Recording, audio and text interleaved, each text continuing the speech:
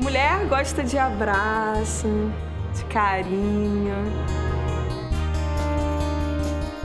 Mulher gosta de ficar bonita.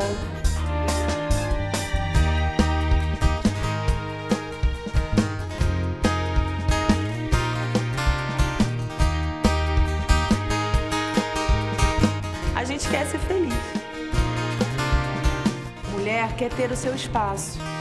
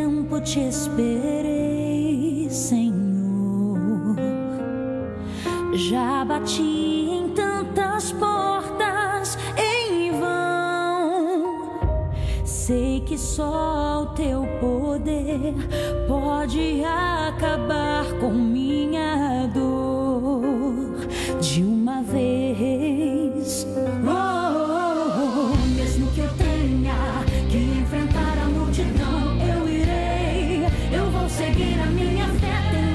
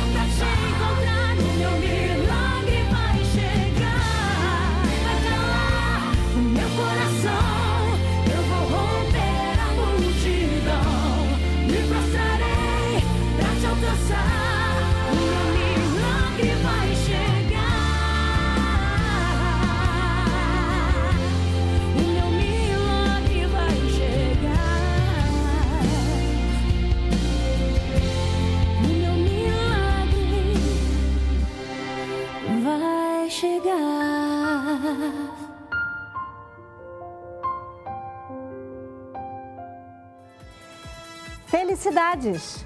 Para você que está acompanhando o nosso espaço e está fazendo aniversário, que Deus te abençoe e te guarde. E a palavra é de orientação para você preservar o seu coração. Está aí no vídeo. Guardei no coração a tua palavra para não errar o alvo, para não pecar contra ti. Salmo 119, versículo 11. Felicidades!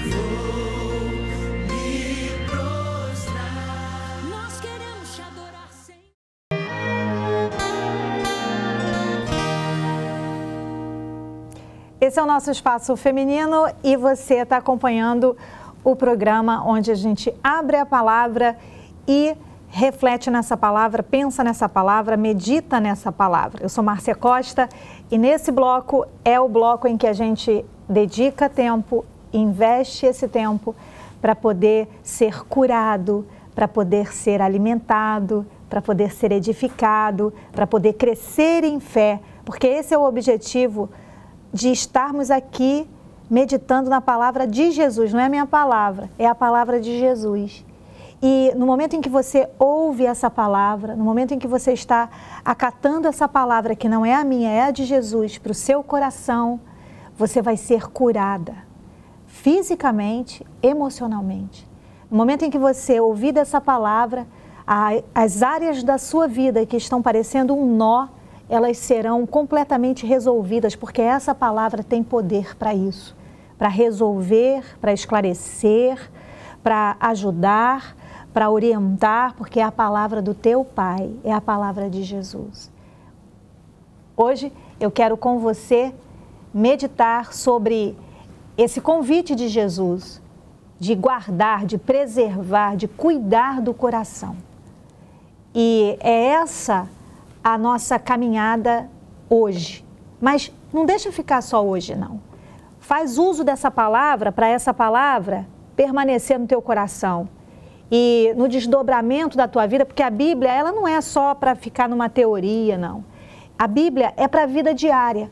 Na hora que você estiver lá fora, na hora que você estiver em qualquer momento da sua vida e que tiver que tomar uma decisão, que tiver que fazer uma escolha, usa essa palavra para proteger o seu coração.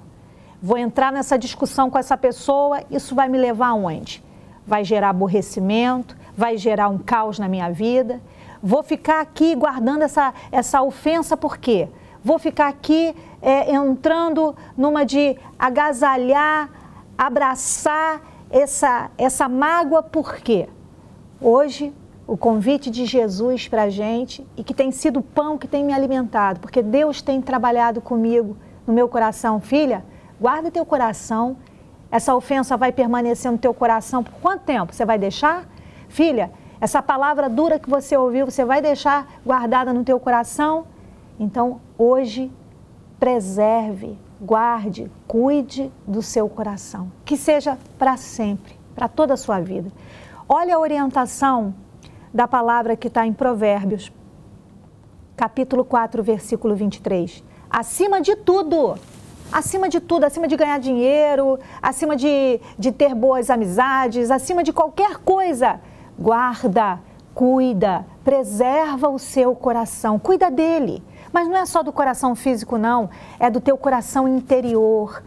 Esse coração fala das emoções, fala do lugar onde é a sede dos teus pensamentos, das tuas emoções, pois dele depende toda a sua vida.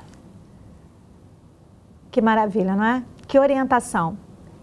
Então, se depende toda a nossa vida, o que está sendo internalizado, o que está sendo guardado, é hora de começar a fazer uma grande reforma no coração. Sabe quando você vai nas ruas e tem escrito assim uma plaquinha assim, é desculpe o transtorno, estamos em reforma? Muitas vezes é hora de colocar essa, essa plaquinha na nossa vida, ó, dá licença, mas agora eu tenho que dar uma paradinha aqui e eu tenho que investir no que está acontecendo dentro de mim, no meu coração. E sabe, essa, esse convite de preservar o coração, que nós estamos meditando, significa guardar.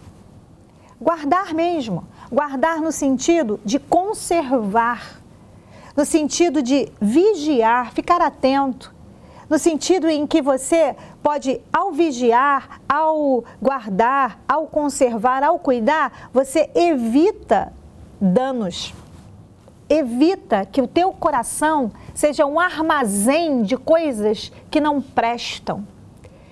E tudo que você deixa recepcionar no teu coração vai afetar a sua visão. É. Sabe, muitas vezes nós estamos vendo a vida de uma forma muito pessimista, muito é, murmuradora, é, muito amedrontada. Sabe por quê? porque todo dia você permitiu que alguma coisa entrasse no teu coração. Uma má notícia, uma dúvida de alguém, um receio do outra, da outra pessoa, um medo de uma outra pessoa que você pegou para você. um problema que não era seu, que você trouxe para você e pegou para você? Ou um, um, uma tragédia que aconteceu na vida de alguém? Por exemplo, muita gente, às vezes, é, não quer casar, não quer entrar num relacionamento afetivo sério, bonito, saudável, porque ouviu a história de que fulano não foi bem no casamento, Beltrano não foi bem no casamento, então eu eu, eu comparando aquilo ali, eu vou pegar aquela informação e vou guardar para mim e vou agasalhar aqui dentro. Aí na hora de, de ver o casamento, a minha visão fica corrompida por aquelas histórias todas ruins que eu ouvi.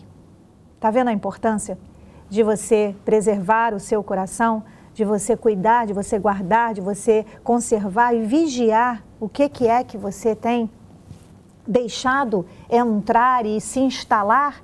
Vai afetar a sua visão, vai afetar a sua audição na hora que você ouvir alguma coisa, você já vai partir de, todas aquelas, de todas aquelas crenças que já estão aqui dentro de você.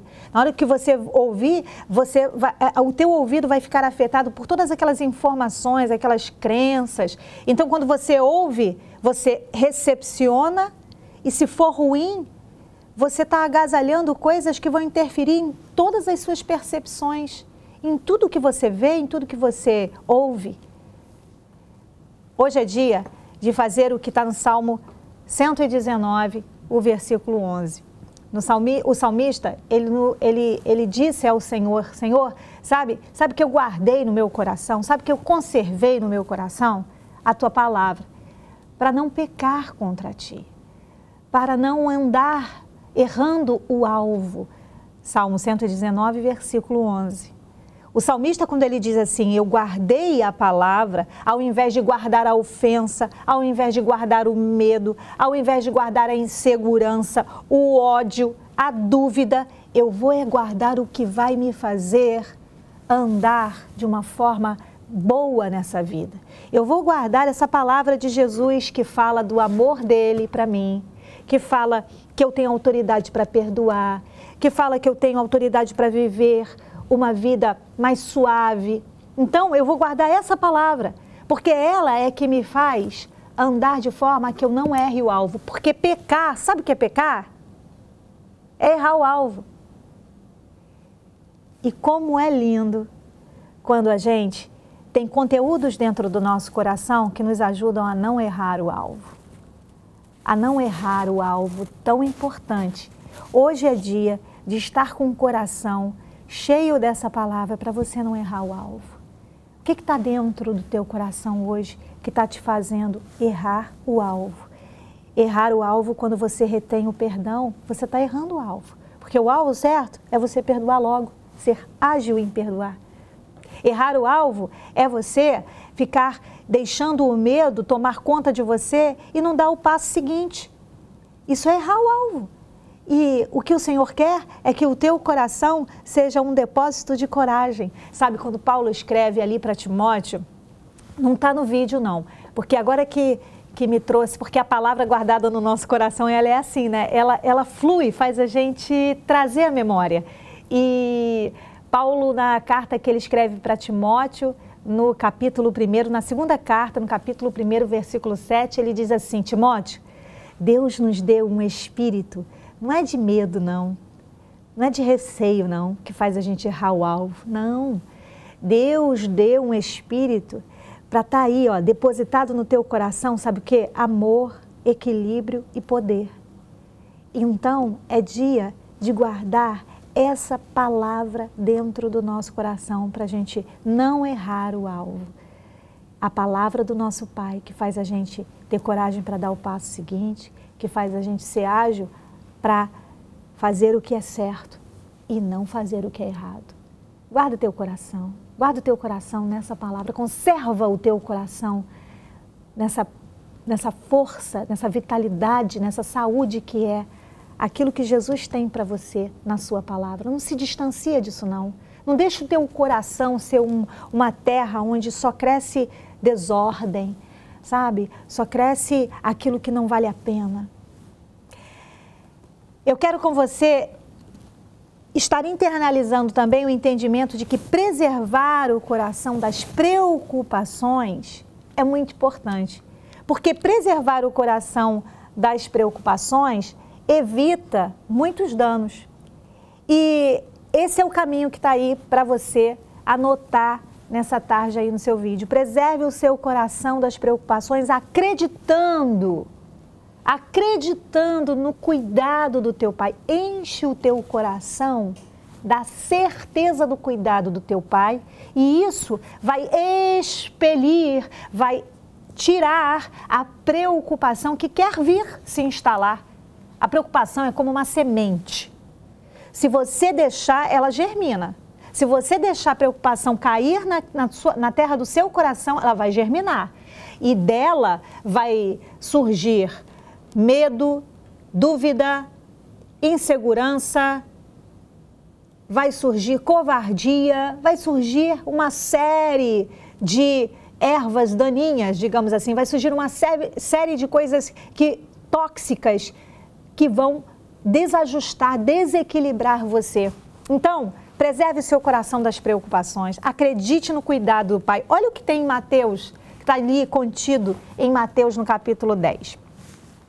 Os versículos 30 e 31 Nesse capítulo de Mateus 10, é muito lindo, se você quiser dedicar tempo nesse capítulo, você vai ver que é, Jesus escolhe os 12, os 12 apóstolos e depois ele instrui esses apóstolos e ele está falando nesse capítulo 10 sobre o cuidado dele.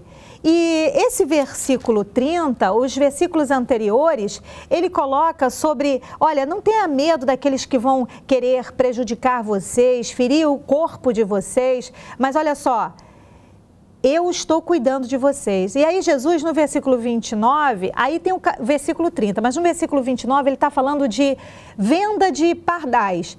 Os pardais eram eram aves que eram usados e eles, e naquela época, eles é, eram muito baratos. E nenhum deles, o Senhor Jesus estava dizendo que nenhum desses pardais, por mais baratinhos que fossem, eles cairiam do céu sem o consentimento do Pai.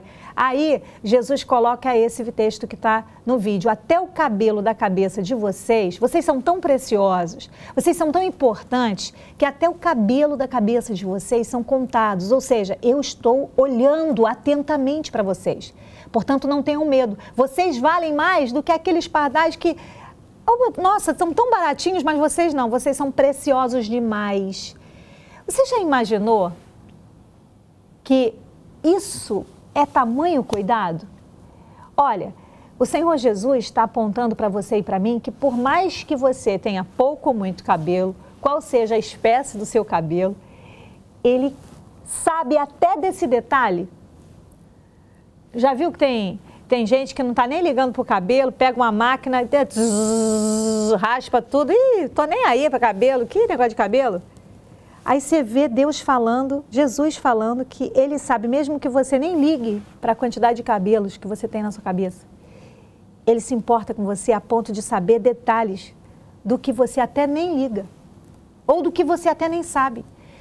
Sabe, Ele, ele sabe exatamente o que você precisa. O cuidado dele é tão importante, é tão especial, é tão detalhado sobre você. Ele sabe o que você não tem nem ideia do que precisa. Sabe o livramento hoje que você não tem nem ideia que está que tá vivendo, mas ele já te supriu com esse livramento?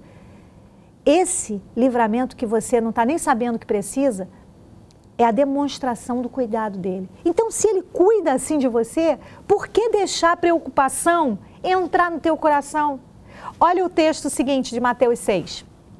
Nesse capítulo, você encontra, nesse capítulo 6, que eu também recomendo que você leia o capítulo todinho, para você ter ideia do texto e do contexto. Porque senão vira um pretexto para confusão na sua vida. No capítulo 6 de Mateus, você vai ler a partir do versículo 25 sobre as ansiedades da vida. E Deus e Jesus falando assim para a gente: olha, se Deus veste a erva do campo que hoje existe, nossa, é uma coisa tão sem, sem sentido, sem importância para muita gente. Hoje ela existe, amanhã é lançada no fogo. Mas mesmo assim Deus cuida e Deus providenciou ela.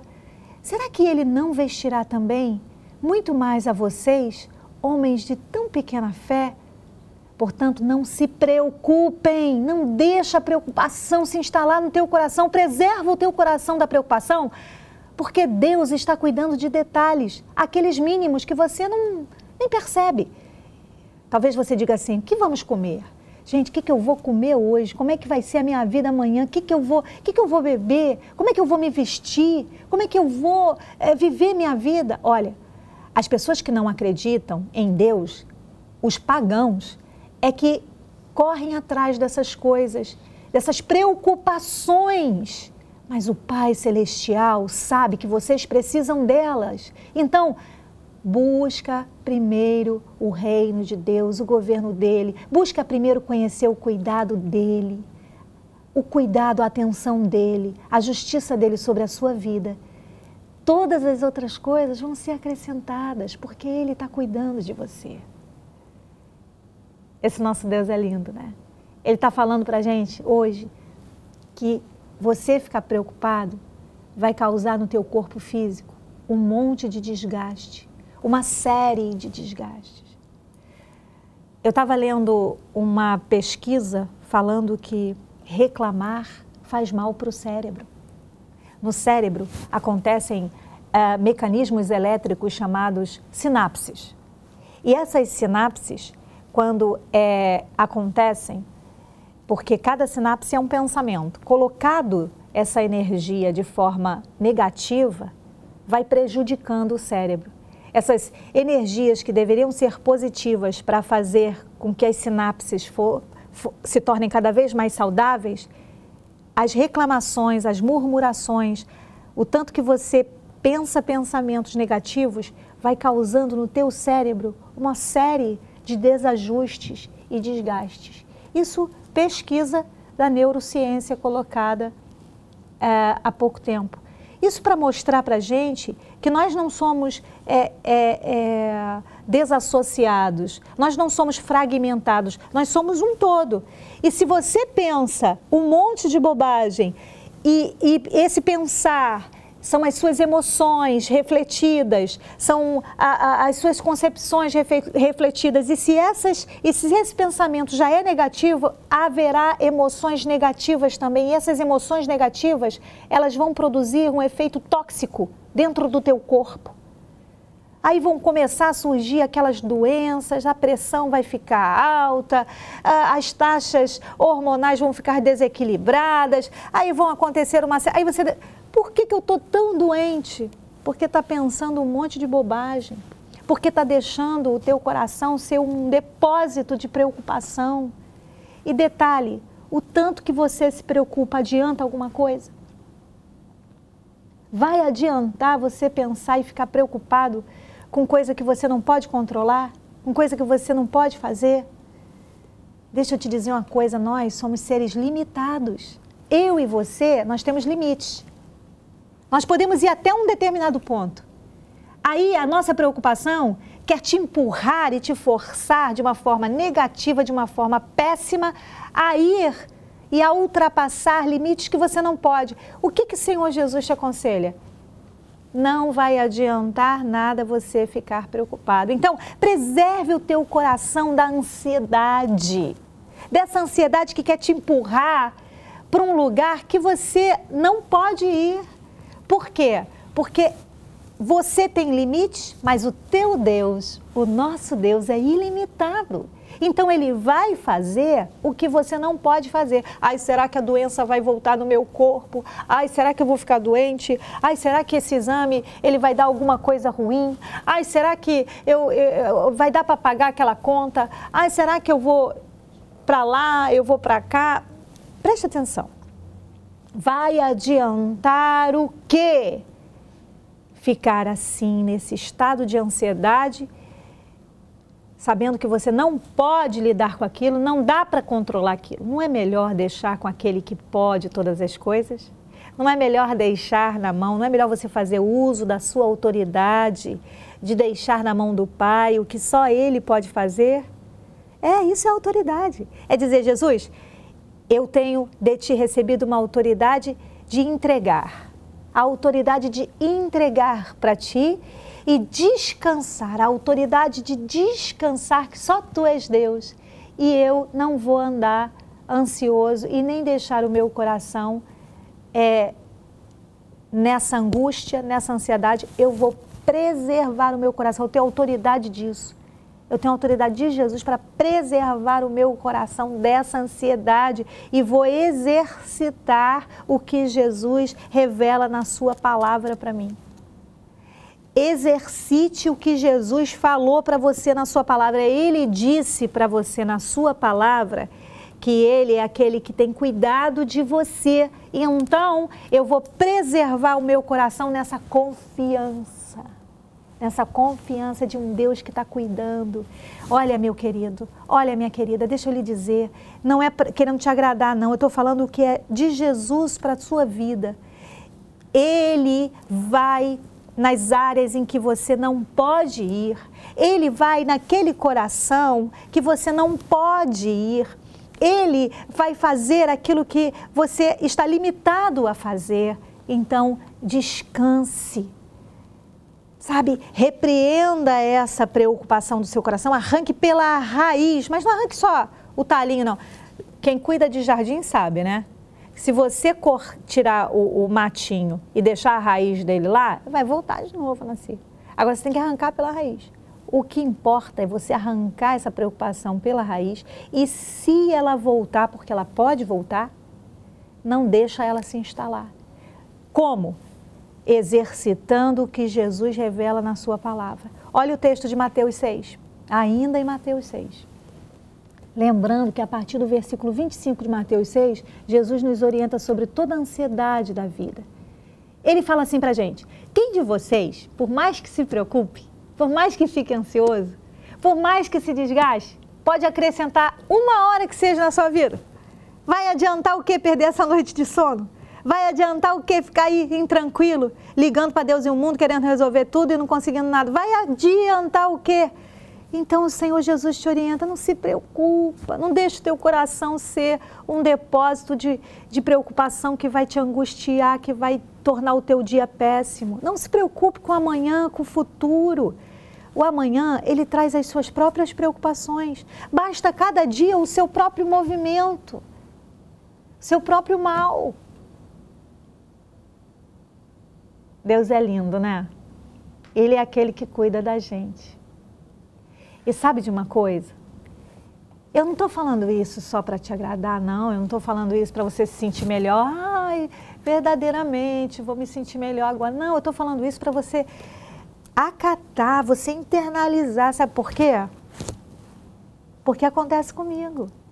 Eu estou dividindo com você um pão que tem me alimentado tem sido a direção de Deus para mim nesses momentos, porque esse ano 2016, eu já disse para você, é ano de Jesus na nossa vida. E eu tenho tido essa direção de Deus para mim, estou partindo com você esse pão. Filha, guarda o teu coração. Filha, guarda o teu coração. Preserva, cuida, vigia do que é que é que está querendo entrar no teu coração. É bom? É perfeito? É agradável? Deixa entrar não é negativo. É por isso que nós vamos orar agora, juntas. Não deixa a dúvida entrar no teu coração, dizendo assim, não, só se amar se orar que vai dar certo. Não, não, não. Preserva o teu coração nessa verdade. Eu sou ouvida, assim como a Márcia. A minha oração também é ouvida, porque eu também sou amada, assim como a Márcia. Deixa essa verdade entrar no teu coração para você não errar o alvo. Vamos orar isso que o salmista nos, nos convida? Pai, nós queremos guardar o que vai nos abençoar. Nós queremos conservar, preservar no nosso coração aquilo que vem de Ti, a Tua palavra, porque não queremos errar o alvo, Pai. Então, no nome de Jesus, no nome de Jesus, que hoje o nosso coração esteja sendo por ti limpo de todas as mazelas, de tudo aquilo que é tóxico, de todas as emoções tóxicas, de toda a mágoa, de todo o ressentimento, está agora arrancado pela raiz. Não vai adiantar sentir ódio dessa pessoa, não vai adiantar sentir raiva dessa pessoa, não vai adiantar ficar triste, guardar rancor dessa pessoa, não vai adiantar, Senhor, ficar preocupado, ficar ansioso. A gente já sabe disso, por isso nós arrancamos na autoridade que o Senhor deu para gente. Em nome de Jesus, tudo isso do nosso coração. E vamos agora plantar no nosso coração as sementes da tua palavra, porque a gente não quer errar o alvo, Jesus. A gente quer aprender de ti, que é manso e humilde, Jesus. A gente quer aprender de ti, Senhor, a colocar no nosso coração só o que vai nos fazer ficar cada vez mais suaves, tranquilas, caminhar nessa terra como tu nos orientou. Pai, a tua palavra é tão linda, tão maravilhosa, e nós te agradecemos por ela. Só tu tens as palavras de vida eterna, Jesus. E, é, e são elas que têm privilégio, que têm autoridade, que têm direito de estar no nosso coração. Te agradecemos, Jesus.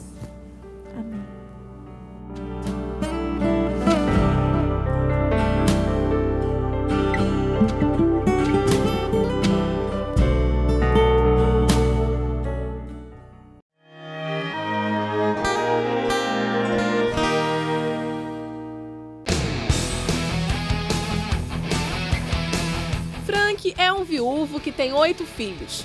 Quando ele reencontra Ellen, sua namorada da adolescência, os 30 anos em que não se viram somem imediatamente.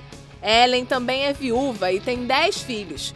Sem contar a ninguém, eles decidem se casar, mas as famílias não conseguem se entender, principalmente pela diferença da criação que cada grupo recebeu.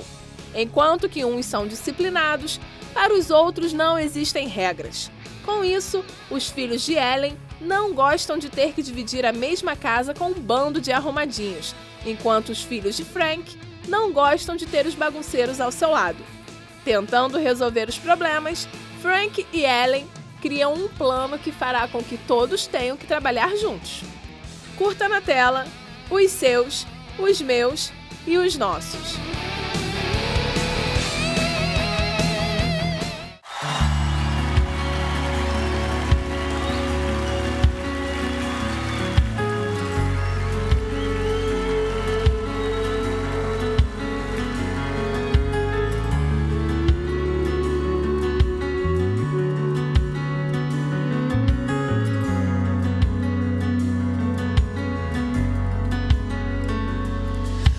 Ao seu redor, veja até onde chegou.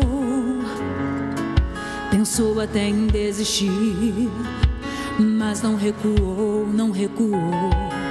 Doer faz parte do processo. Deus não prometeu um mar de rosas no caminho. Sofrer faz parte da história. Na história tem mar e também espinhos. Antes mesmo de você nascer, Deus traçou sua vida, Deus escreveu sua história. Se está doendo em você, faz parte do processo, faz parte da vitória. Aí dentro tem um coração que pulsa mais forte. E na luta entre a vida e a morte, vem o seu, chegou, viver.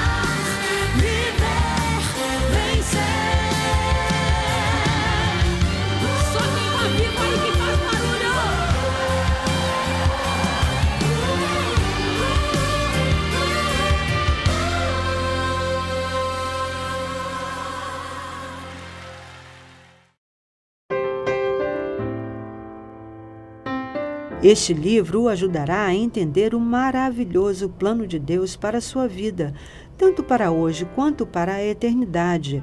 Uma vida com propósitos é um manual para viver no século 21, um estilo de vida fundamentado nos propósitos eternos de Deus e não tem valores culturais.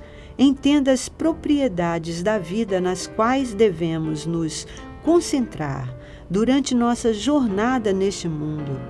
Adoração, comunhão, discipulado, serviço e missão. Concentre nestes propósitos e sua vida florescerá e frutificará mais e mais. Boa leitura!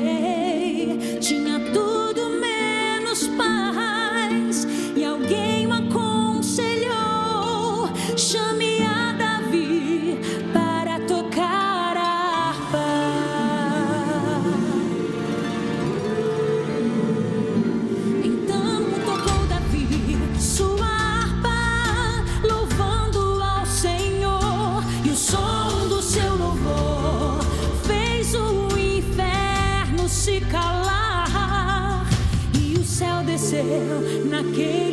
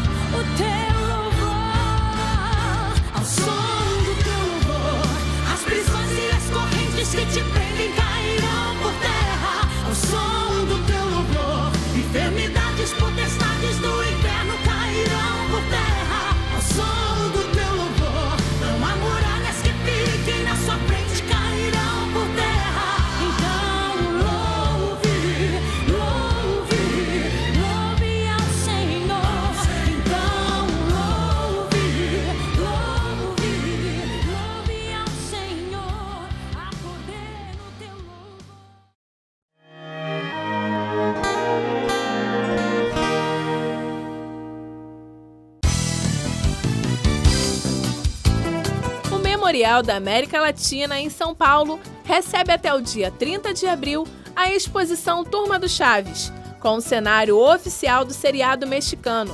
Os fãs de Chaves terão a oportunidade de conhecer o principal cenário do seriado e até mesmo entrar no barril que servia de moradia para o protagonista.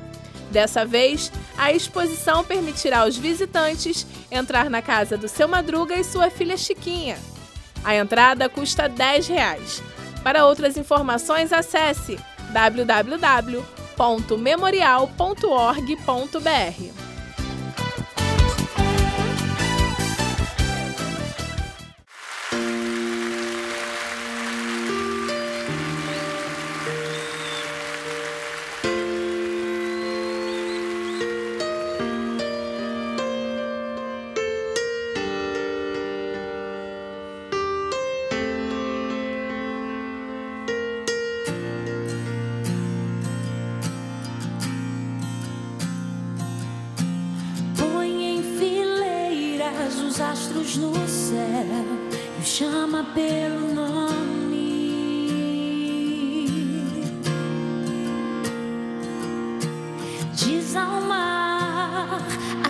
detenhas, da forma aos montes.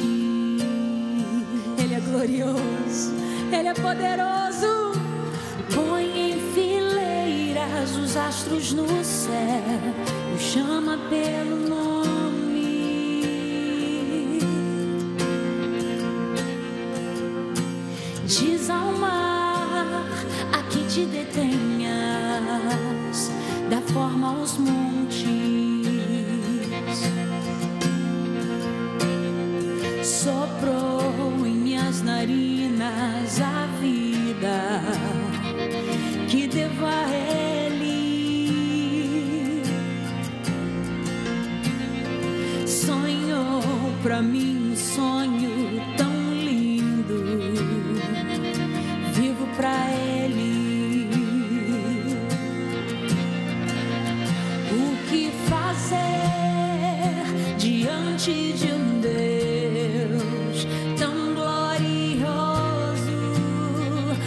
Te seja honra